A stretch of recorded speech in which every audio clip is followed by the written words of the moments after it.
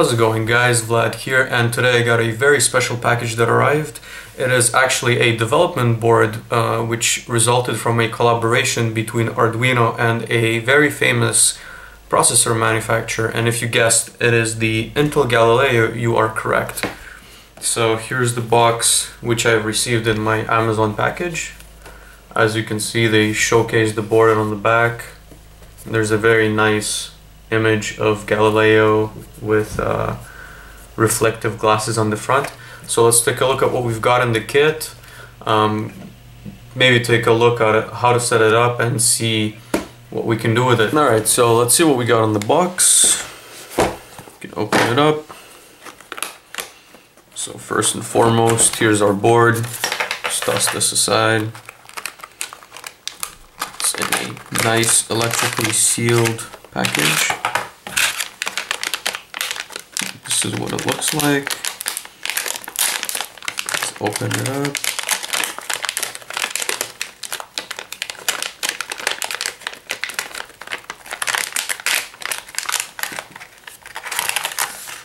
That is our Intel Galileo right there.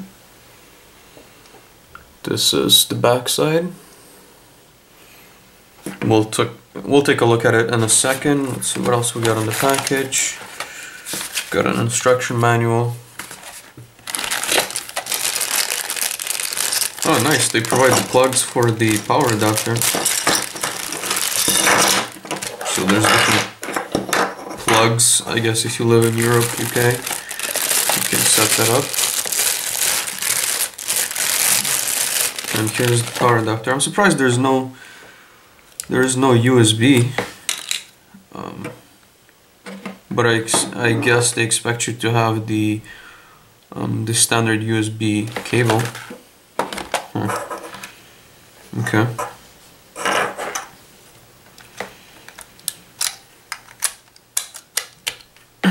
So that seems to be that seems to be all we're getting for the for the Intel Galileo.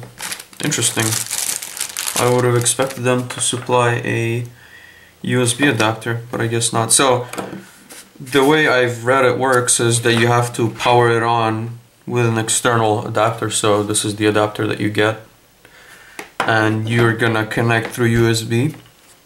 Uh, you can't power it through USB directly, so you have to have both of them connected. And I'm guessing the instructions go over this because apparently it's a very big deal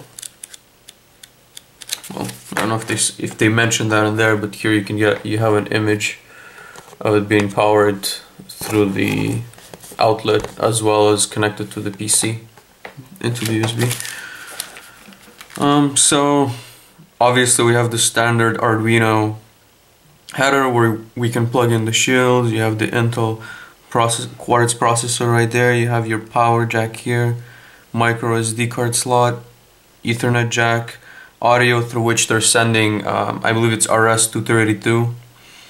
Uh, you have your USB connectors, you have some extra pins, uh, ICSP, I guess this is, you can use your, um, I'm not sure if you can use the Atmel programmer, so the A AVR programmer, um, maybe you can program the Arduino directly right there.